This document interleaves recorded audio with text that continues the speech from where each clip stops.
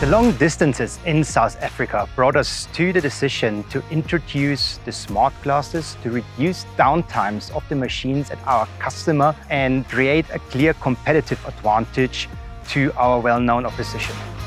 With the smart glasses, our Wacker Neuson service mechanic can literally see through the eyes of the mechanic at our dealership or even at our customer site and can provide immediate support.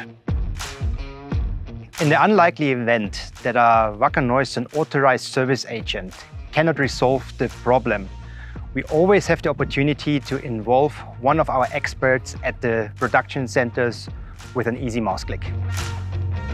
A very intuitive display is giving us the possibility to communicate with our customers verbally, but also via directional arrows to point out the problems immediately.